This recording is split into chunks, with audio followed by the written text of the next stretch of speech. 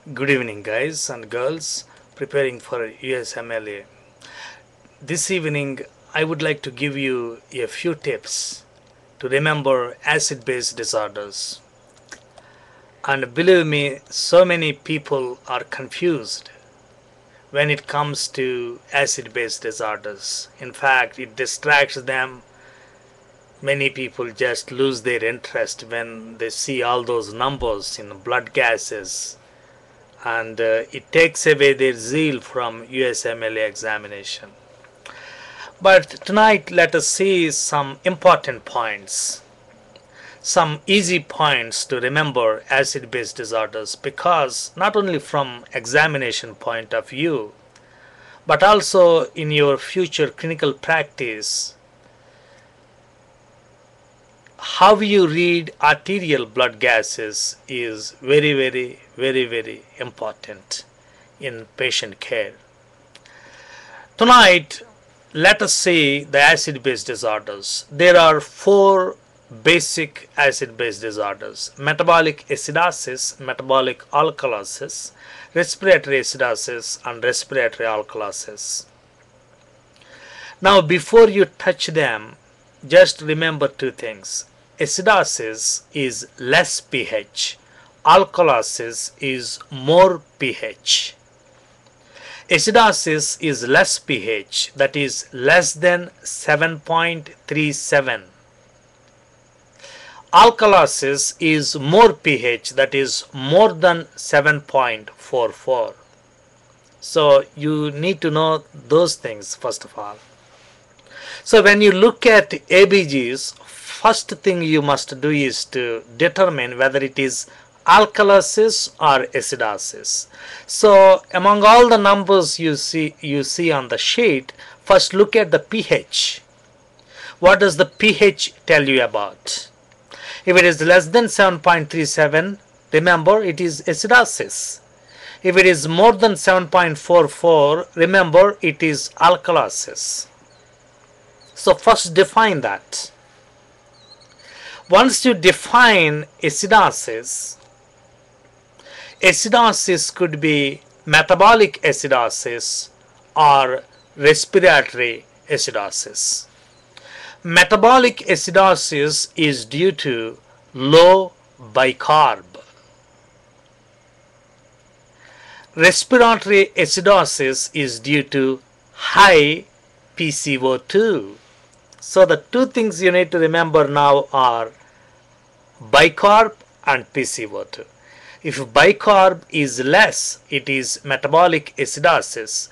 If PCO2 is high, that is respiratory acidosis. So first you need to remember those things very well. The, for, for, for the uh, uh, easiness, remember like this, metabolic acidosis, low bicarb. Easy. Metabolic acidosis, low bicarb. So automatically metabolic alkalosis becomes high bicarb. So easy, right? Metabolic acidosis, low bicarb, metabolic alkalosis, high bicarb. Now going to respiratory alkal uh, alkalosis. Start with respiratory acidosis. What did I say earlier? Respiratory acidosis is due to high PCO2. So respiratory alkalosis becomes like less PCO2. So those are the issues you need to remember. So the first thing you must do when you look at ABGs is to look at pH and determine whether it is acidosis or alkalosis. Once you determine acidosis, what kind of acidosis is that? Metabolic acidosis or respiratory acidosis? Then once you determine pH, once you determine it is acidosis, look for bicarb and PCO2. What kind of values of bicarb should bring acidosis? Bicarb should be low. If you think metabolic acidosis is the reason.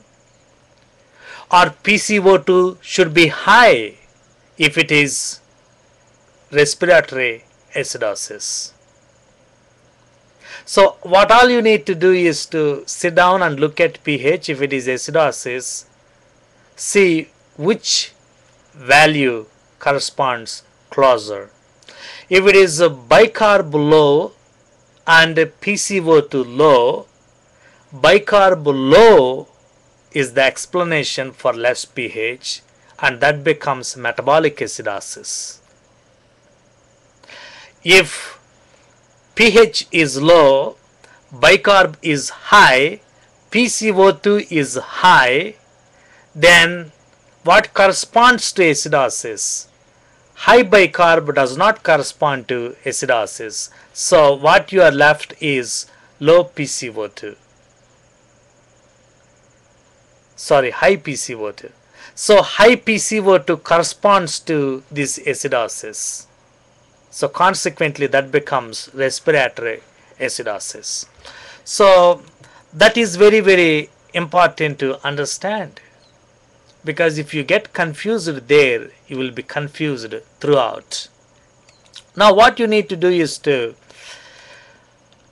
think about pH and let me give you quickly low bicarb metabolic acidosis, high, carb, high bicarb metabolic alkalosis, high PCO2 respiratory acidosis, low PCO2 respiratory alkalosis. It's very re remember what comes next if you remember these things well. Now compensatory mechanisms. Just in compensatory mechanisms, just think about what is needed. If it is metabolic acidosis, the patient has low bicarb. Now the compensatory thing is to take him towards alkalosis region. So now you need to think about what makes this patient alkalotic. He is in metabolic acidosis. His pH should go up. What makes to take his pH to go up? That is PCO2 should be decreased. Only that can make him alkalotic. So PCO2 has to decrease as compensatory mechanism in metabolic acidosis. And metabolic alkalosis PCO2 has to increase. Same with respiratory acidosis. In respiratory acidosis PCO2 increased.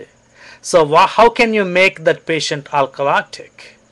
The ion that is there is bicarb. How can you use bicarb to produce alkalosis? Increase bicarb. So bicarb is increased and it produces respiratory compensation when the patient has respiratory acidosis.